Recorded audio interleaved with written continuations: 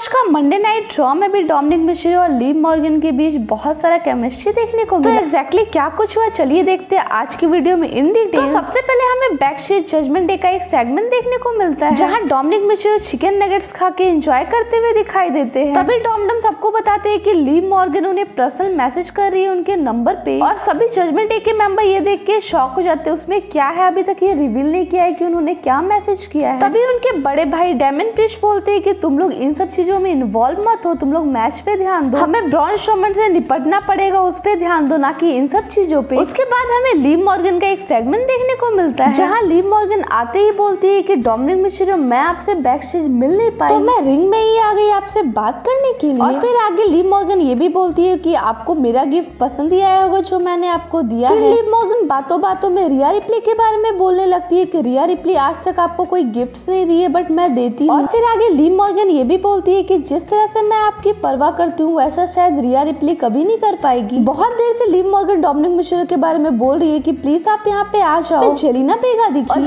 बेगा आते ही बोलती है की मुझे वर्ल्ड चैंपियनशिप चाहिए। तभी लीव मॉर्गन बोलती है की मैंने इसके लिए रिया रिप्ली और बैकी लिंच को भेजा है तो मैं इसे कभी नहीं दूँगी तुम तभी जेलिना बेगा एक मैच मांग रही होती है लीव मॉर्गन से तो लीव मॉर्गन बोलती है कि अभी मेरे पास फाइट करने का टाइम नहीं है अभी मेरा ध्यान सिर्फ़ एक ही बंदे पे है वो है Dominik Mysterio Dominik Mysterio please आप यहाँ पे आ जाइए रिंग में। जैसे लीव मॉर्गन ऐसा बोलती है तो डोमिनिक मिश्रो का थीम सॉन्ग बजता है वो वहाँ पे आ जाते हैं। तभी लीव मॉर्गन डोमिनिक मिश्रो से पूछती है कि क्या आपको मेरा गिफ्ट पसंद आया जो मैंने आपको दिया था? डोमिनिक मिश्रो इसी का रिप्लाई देते हुए बोलते हैं कि मुझे बिल्कुल भी पसंद नहीं आया। फिर आगे लीव मॉर्गन बोलती है कि शायद आपको मेरा टेक्स्ट ज़रूर पसंद आया होगा। तभी इन दोनों के बाद में इंटरफेयर कर देती है जलीना बेगा और बोलती है यहाँ पे चल क्या रहा है? इन लोगों के बीच बातें हो ही रही होती है तभी लीव मॉर्गन पीछे से जलीना बेगा के ऊपर अटैक कर देती है उसके बाद इन दोनों का ब्रॉल देखने को मिलता है। और रे मिशरी भी आ जाते हैं और वो अलग करने लगते हैं इन दोनों सुपरस्टार्स। इसी बीच डोमिनिक मिशरी ने रे मिशरी के ऊपर धक्का भी मार दिया और वहाँ से चले गए। लीव मॉर्गन देखती रह गई की उनके लिए उन्होंने अपने पापा को धक्का तक दे दिया। और फिर लीव मॉर्गन डोमिनिक मिशरी के पीछे पीछे जा रही होती है बैक स्टेज और बोलती है थैंक यू तुमने मेरी हेल्प की। डोमिनिक मिशरी उनको सुनने के लिए रेडी ही नहीं थे फिर भी वो उन्हें ज़बरदस्ती जाके हक कर लेती और है। बोलती है थैंक यू आपने मेरे लिए हेल्प किया। फिर अचानक अपना पीछा छुड़ा के वहाँ से डोमडम भाग जाते हैं। उसके बाद लीव मॉर्गन और आर्थुत के बीच बातें स्टार्ट हो जाती है। और लीव मॉर्गन आर्थुत को बोल रही थी कि जजमेंट डे के खिलाफ टैग टीम मैच टाइटल के लिए डिफेंड करने के लिए। तभी आर्थुत बोलते हैं ठीक है मुझे कोई प्रॉब्लम नहीं है मैं डिफेंड कर लूँगा। और गैस उसके बाद लीव मॉर्गन का एक और इंसिडेंट देखने को मिलता है जब वो बैक शेड जजमेंट डे के रूम में दिखाई दी। और डेमन प्रेस अपना चैंपियनशिप लेने जाते हैं तो वो देखते हैं कि लीव मॉर्गन उनके रूम से बाहर आ रही है।